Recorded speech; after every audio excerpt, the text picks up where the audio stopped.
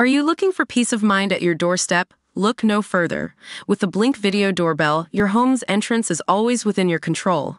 Check out the link in the video description to learn more and get your Blink Video Doorbell on Amazon. Your home is in your hands. A man has been found dead and a woman left fighting for life following an alleged group fight at a home. A Victoria police spokesman said a physical altercation took place between two men and a woman in Bentleigh East, Melbourne Southeast, at 8 p.m. on Saturday. A 20-year-old man has been arrested and remains in custody. He is currently assisting police with their inquiries.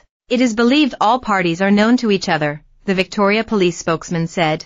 The critically injured woman was rushed to hospital. Anyone with information has been urged to contact Crime Stoppers on 1-800-333-000.